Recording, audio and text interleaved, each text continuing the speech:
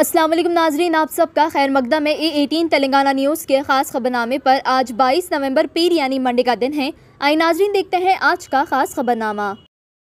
रियासती हुकूमत ने 30 फ़ीसद इंटरमीडिएट का सिलेबस कम कर दिया है, क्योंकि कोविड 19 वबा के दौरान फ़िज़िकल क्लासेस और ऑफलाइन क्लासेस के मसले को देखते हुए 30 फ़ीसद सिलेबस कम कर दिया गया है इस एकेडमिक साल 2021 और 2022 के लिए। Telangana state board of intermediate education ने पीर के दिन कहा कि 100 में से 70 फ़ीसद सिलेबस फ़र्स्ट ईयर इंटरमीडिएट और सेकेंड ईयर इंटरमीडिएट के लिए पढ़ना होगा। इसकी बुनियाद पर ही एग्जामिनेशन लिखना होगा 2021 और 2022 के लिए।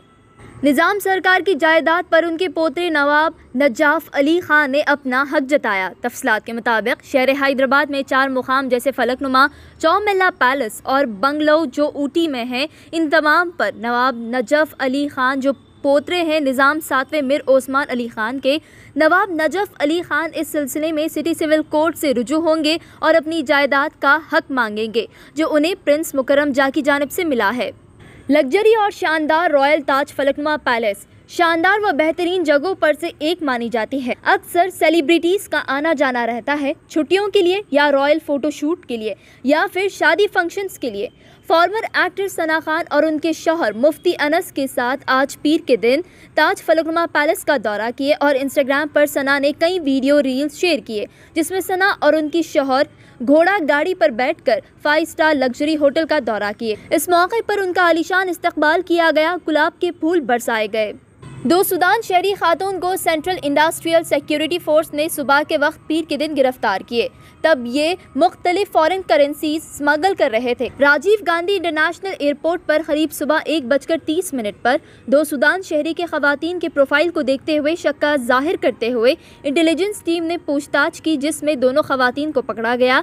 ये दो खातन खारतोम से शारजा से इंडिया आए थे। Air Arabia flight number G nine four five nine के ज़रिए। उनकी फ़्लाइट सुबह चार बजकर पच्चीस मिनट पर टेक ऑफ़ हुई। हैदराबाद कस्टम्स ने उन पर एक केस दर्ज किया। फॉरेन करेंसी स्मगल करने की कोशिश के तहत उनके कब्जे से पचपन हज़ार के यू ए धिराम करेंसी जब्त किए। नौ सौ सत्तर यू एस डॉलर करेंसी जब्त किए गए, जो कुल ग्यारह लाख उनचास हज़ार रुपये होते हैं। उन्हें जब्त करते हुए उन्हें गिरफ़्तार कर लिया गया। साथ ही नौ आईफोन थर्टीन प्रो मोबाइल भी जब्त किए गए उनके कब्जे से, जिसकी कुल मालियाती कीमत आठ लाख सैंतीस हज़ार रुपये बताई जा रही है। ये सामान शारजा से आई खातून के लगेज में मिला।